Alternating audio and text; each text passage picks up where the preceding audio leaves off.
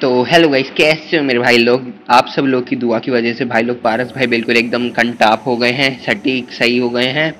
और भाई लोग आ, उनकी जो नाक वाक फोड़ी गई थी ना भाई लोग तो उनकी नाक भी पहले की तरह बिल्कुल एक्यूरेट बिल्कुल सटीक हो गई है। मतलब पहले की तरह अपने पारस भाई वापस आ गए तो आप लोगों को कोई टेंशन लेने की ज़रूरत नहीं है। तो भाई लोग थोड़ा सा इनका चेहरा वहरा देखो।